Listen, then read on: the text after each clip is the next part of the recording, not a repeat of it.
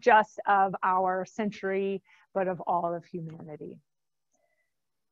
In today's scripture text, we heard about a military battle the Israelites had endured, and it ended with the Israelites finding safe passage through the Red Sea, while the Egyptian forces did not have such luck and they perished by the thousands. Israel has marched through a number of significant steps as she began to let go of her role and her place in the Egyptian society and prepared to take on her own. This is something of a final launching. It has taken quite a lot to unravel and untangle Israel from her current place in Egypt. First, there were the midwives who refused to follow an order from the Pharaoh, which was to kill all of the firstborn. And so the midwives found their creative and their clever ways to protect life, to protect the babies that were being born. After that came Moses and his calling to this new kind of prophetic voice Moses is deeply connected to the midwives because he was one of the babies that was saved by their actions and their work. Moses had always had something of a flair for justice and fairness and had worked in that throughout his life in Egypt, but had gotten into a bit of trouble when some high powered folks did not appreciate his efforts or his voice. And so Moses flees to another country, and it is in that place that he has this deep spiritual encounter with a burning bush and the voice that says, Moses, it is time for you to go back. It is time for you to continue that work of justice that you had been working on before you left. The next piece to begin to loosen the grip of Israel in their current situation are the 10 plagues and Moses goes to the Pharaoh over and over and says, Let my people go. And the answer over and over and over, nine times, in fact, is no. And each time the situation around them gets worse and worse until finally there is the 10th one. And this is going to be an angel of death, is how it's described, that is going to come over the land but it will pass over the houses that are faithful, the houses that have the blood of the Lamb on their doorpost, which is how we come to call that particular part of our history Passover. So now the people are moving and living into a more detached existence from the one they had had for hundreds of years, and they are now preparing to depart. They are they are packing their bags. They are physically departing Egypt. And so in order to do that, they must cross through the Red Sea. But this is not this is not just a peaceful hike by any means. As they begin to depart, the Pharaoh changes his mind and says, No, I'm not going to let you go. And instead, Pharaoh sends Pharaoh's army. And so there becomes a battle that ensues between the two groups. So it is a military battle by all traditional definitions. It is in that that the Israelites find this safe passage through the Red Sea. And what's important about this final launching, this travel through the Red Sea, is that when they arrive in a, the desert on the other side, they will be called to a new task. This is the final part of their departure tasks their letting go of what was. In the desert, they will begin to engage with the task of what might be, how to create and craft the society into which God is calling them into. On your screens, if you give it just a minute, you are going to see a picture and it should be a triangle. So if you can see a triangle on your screen, will you let me know? And give me some handshakes. Wonderful. This is a triangle and it goes by, it's got a couple different names. Sometimes it's called a drama triangle. Um, and when we call it the drama triangle, don't think drama in terms of just, you know, kind of we use that term to say, oh, that's just a lot of temporary drama. Think about it in terms of like a deep narrative, um, a deep story about how we live our lives. This is one of the things that Israel is working itself through. It is in a drama triangle while it is in Egypt. And what is it? The source of a drama triangle is anxiety, not the kind of anxiety that we might get for a few minutes here or a few minutes there, but the kind that is really deep seated within us. And it is that voice that says, there is not enough, and you are not good enough, and you are not going to thrive. It, it is the voice of all the things that prevent us from living into the fullness of who God has called us to be. So when we serve that anxiety, as opposed to serving the spirit of a living God, we can find ourselves in a lot of different roles that protect that anxiety. And so Israel has been in all of these. She has been the victim, she has been the rescuer, she now is in the role of a persecutor, in that she has won this battle. She has won this military battle, and there are thousands and thousands of Egyptians who are now dead. She's going to have to wrestle with this question of how much how much is it worth it? How much death is acceptable for someone else's life? And she's going to wrestle with this in the desert because it's going to be an important question as they form the Israelite society as they move into the promised land, their understanding of mutuality and their understanding of how to how to have a system of checks and balances that is both fair but also one that promotes healing and justice in the long run. This triangle is going to come off of your screen. But remember it because we're going to come back to it because this is this is the triangle that Israel is working herself through in order to find another place so that what is at the core of her existence is not oppression, anxiety, inequity, but instead it's going to be a thriving spirit of God.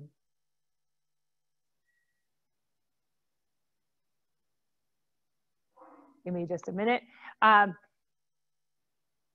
Israel walked through these steps for departure. And it is actually an ancient template. It is a journey that we all walk. We walk in many places in our lives. We walk it collectively as churches and as cities. St. Francis of Assisi was one who also walked it. Our St. Francis Day today with our blessing of the animals. He was a 12th century monk.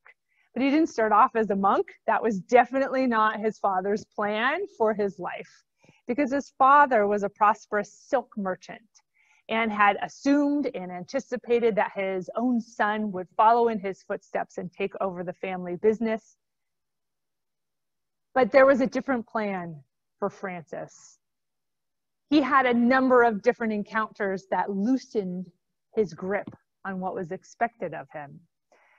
There was the story of the beggar where he was selling prosperous silk wares in the marketplace when a beggar came up to him and asked him for alms. And Francis said no. He said, No, I'm not going to give you anything. The beggar went away. But in that space of time, Francis had a change of heart and so goes chasing after this beggar and gives him all of these fine silks, not just one or two, but all of them. When Francis returns home, he is not only mocked by his friends and his family, but he receives severe punishment for being so irresponsible with their wealth. He then goes on a military expedition and he becomes a prisoner for a year. While he is abroad, he has a spiritual encounter, a vision. We could say he has a burning bush kind of experience. When he returns, and announces that he's prepared to walk away from this family business, from this wealth. He is beaten by his father. He is imprisoned by his own family.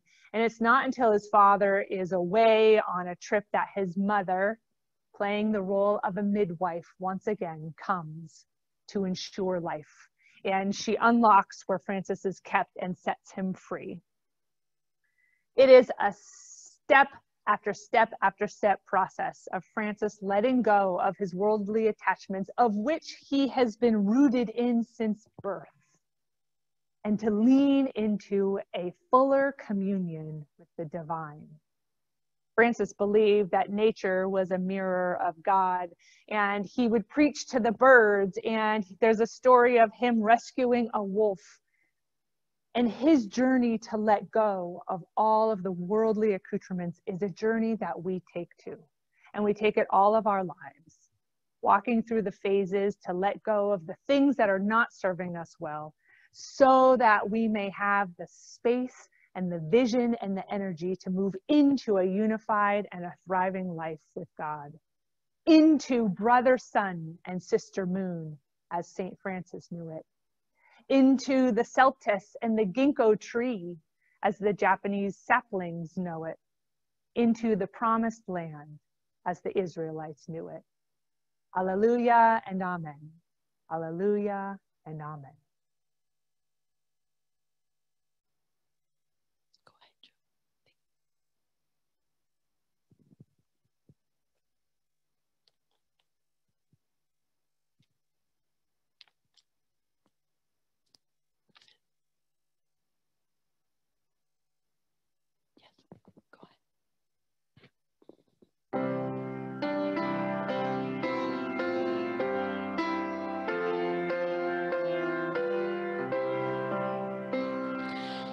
We,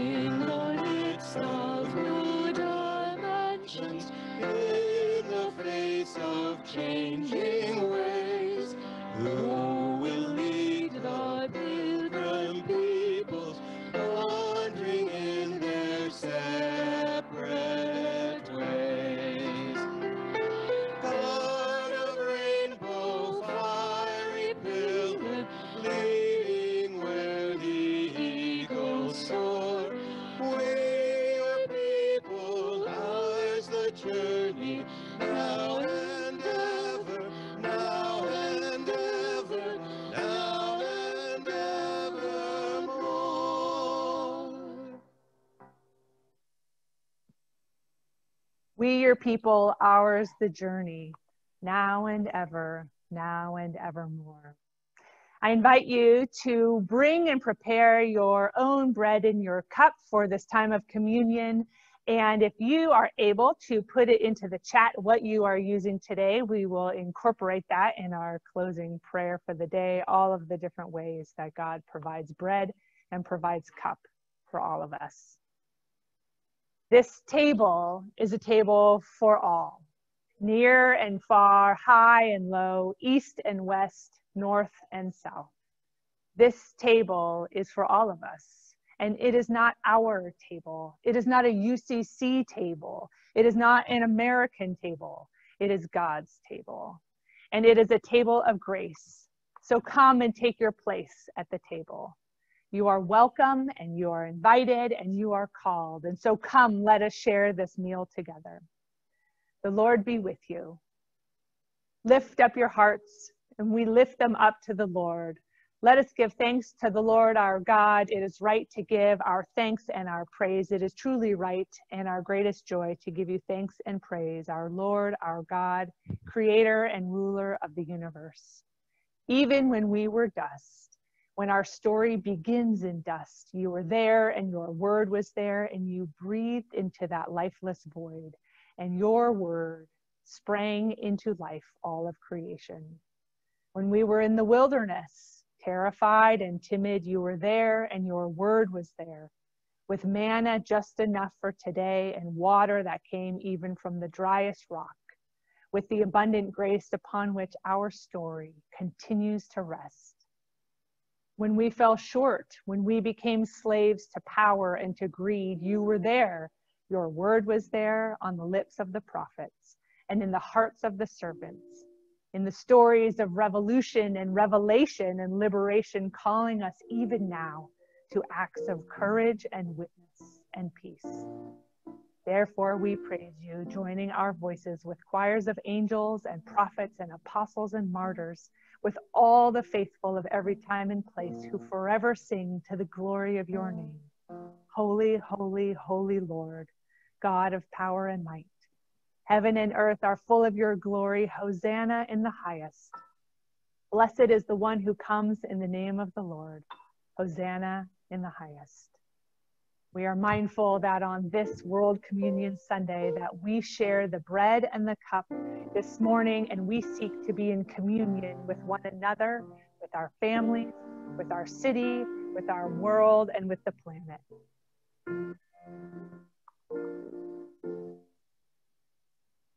Take your cups and hold them up as you are able.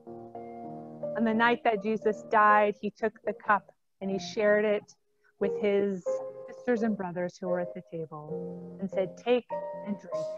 This is the cup given for you. Amen.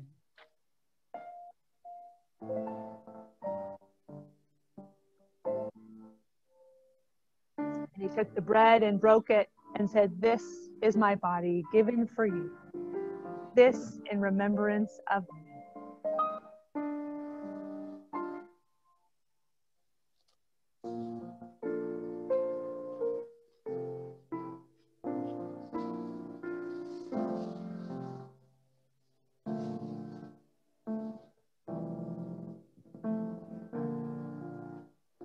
Let us pray.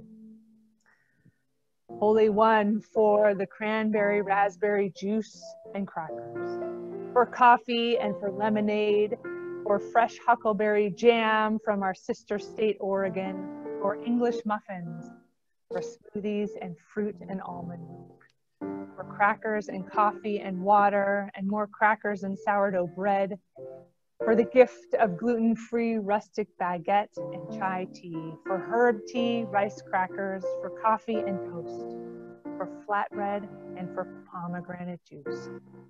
We give you thanks. You have provided for us your spirit through the things that are so common that when we look at them so far too often, we see the mundane, we see the ordinary, we see the common.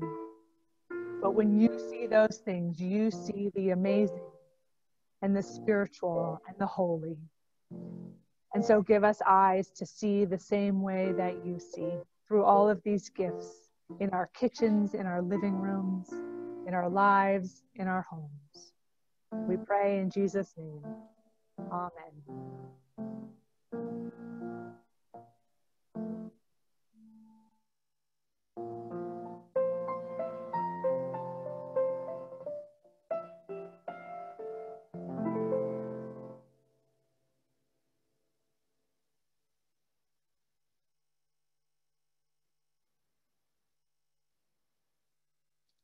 Me then on World Communion Sunday stuff? Then?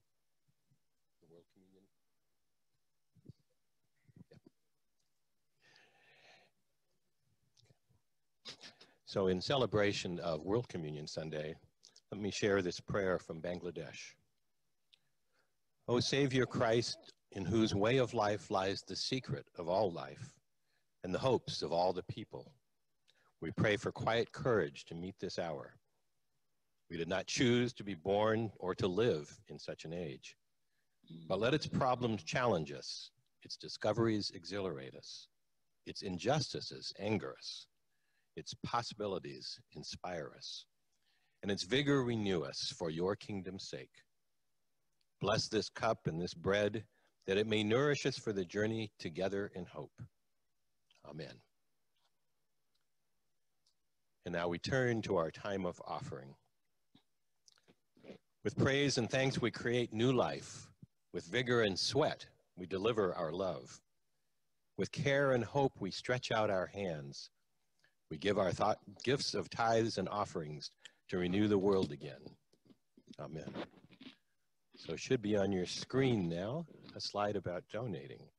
So please donate generously through the PayPal link on the website, through a mail donation to the church office, or through a text to give by texting the word Alki UCC to 44321, and a donation link will come back to you. Your support for Alki is more important now than ever as the church seeks to be a prophetic voice for all people in the year ahead. Would you like to introduce the song? Thank you again for joining us this beautiful Sunday morning. For this musical offering, Joe and I would like to present to you a request from Julia Peeler, Van Morrison's duet with Cliff Richard from his 1990 gospel album. This is Whenever God Shines His Light, which we've affectionately dubbed Whenever God Shines a Light on You. So, are you ready, Joe? You're ready, I think. All right. Let's take it away.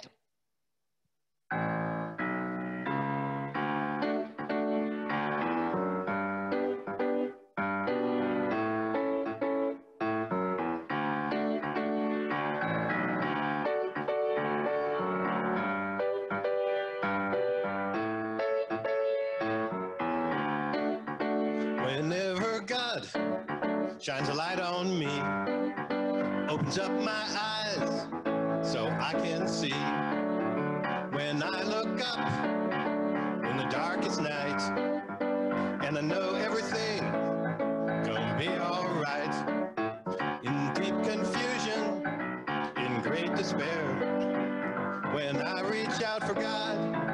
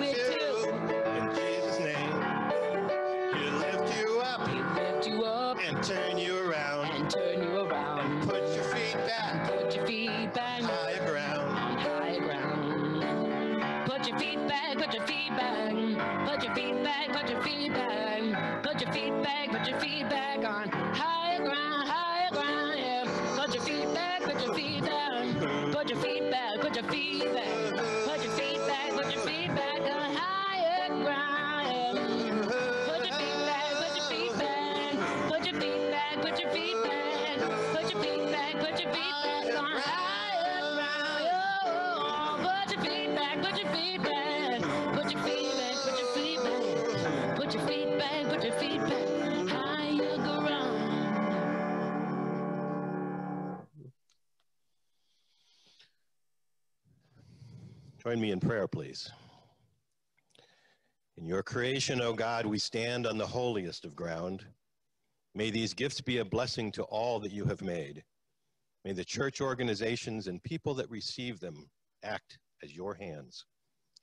May needs be seen and met, and may the giving fit the need. Through Christ who models infinite giving. Amen. It's still my turn.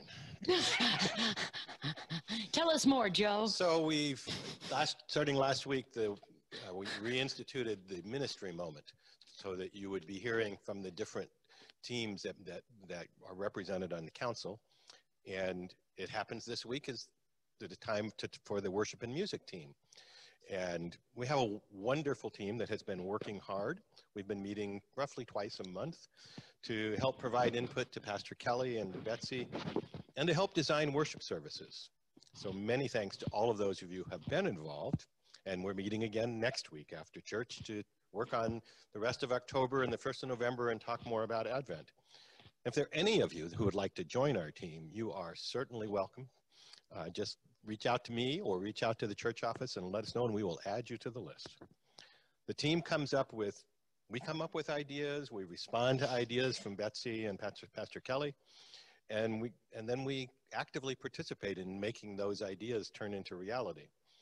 Our special outdoor blessing of the animals today is something that came up out of a meeting two weeks ago.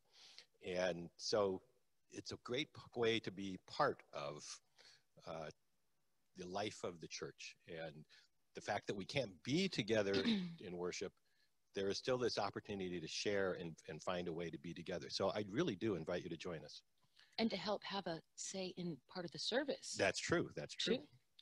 And a key part of our focus these past few weeks has been to upgrade our technology and the ways in which the worship and music are presented to you. Today, as you can tell, marks the next experimental step in our ongoing quest to make your worship services meaningful and hopefully enjoyable.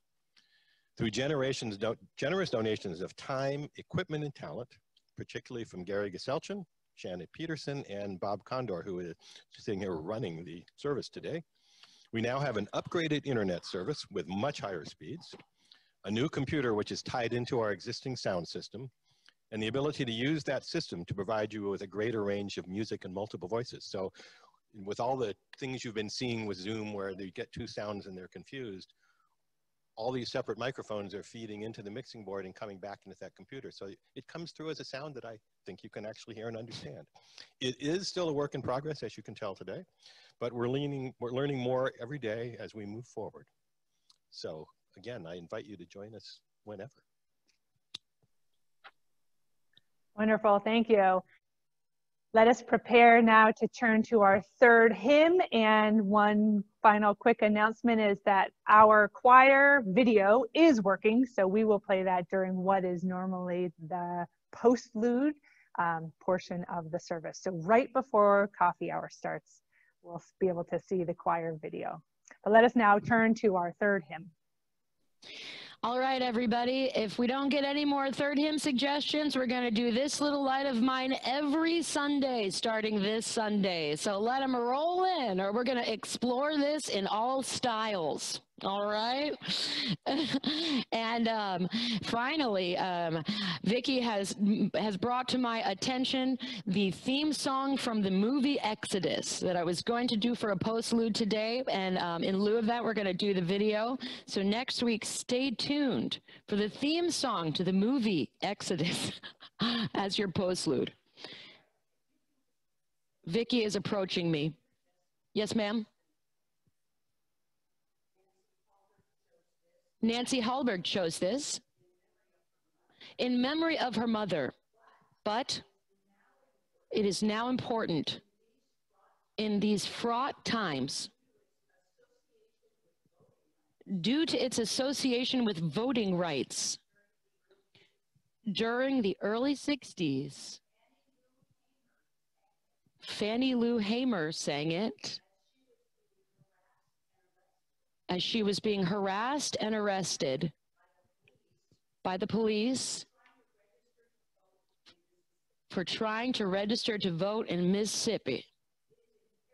It is, it is imperative that we keep that light shining as we demand fair access to voting. That puts a lot of pressure on this song. Sheesh. Good thing we have a rock and choral arrangement of it. Gosh, that was intense. Thank you so much, Nancy. That was very educational. All right, this little light of mine.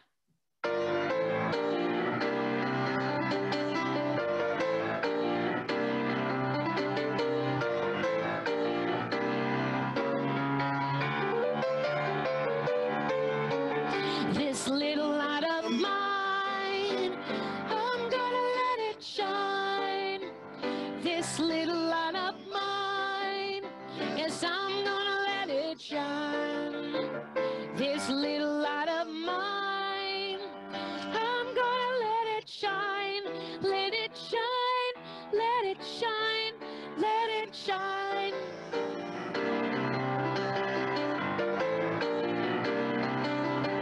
Hide it under a bushel, no. I'm gonna let it shine. Hide it under a bushel, no. I'm gonna let it shine. Hide it under a bushel,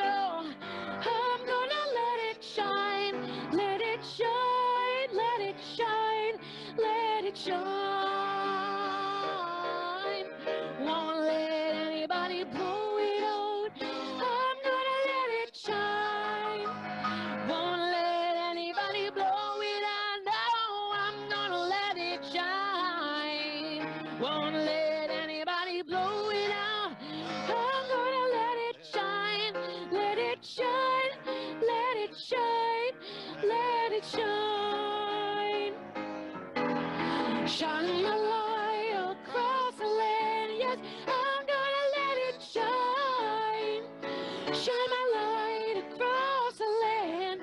I'm gonna let it shine. Shine my light across the land. I'm gonna let it shine. Let it shine. Let it shine. Let it shine. Oh, let it shine. Oh, let it shine. Let your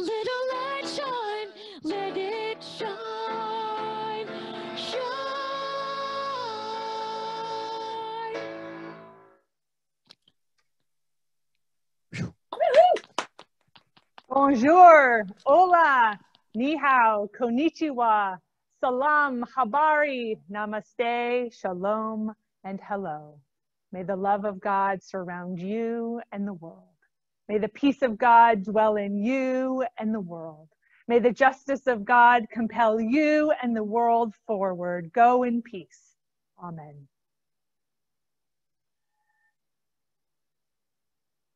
Let us now prepare for the choir video and we'll give it a second attempt and see if we can get it going.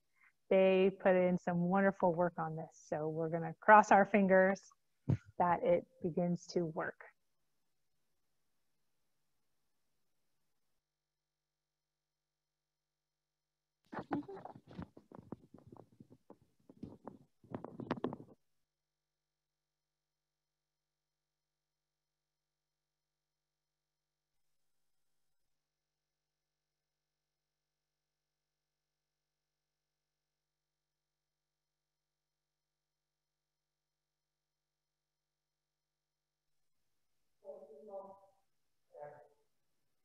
Give it another minute. Someone's not praying enough, I don't think, for this video. We, uh, we'll, we'll give, we'll give the tech folks just another minute to see if they can get. Critters, take 53. All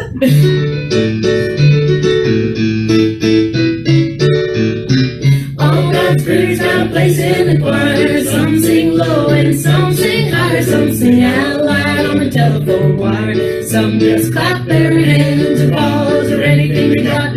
All God's critters got a place in the choir. Some sing low and some sing higher. Some sing out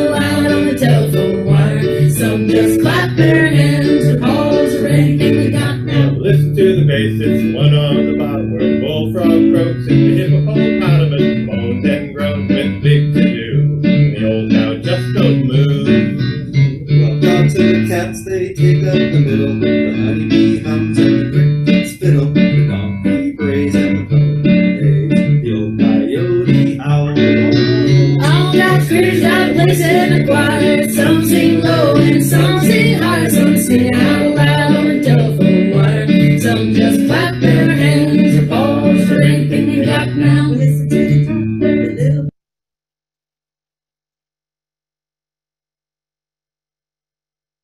mercy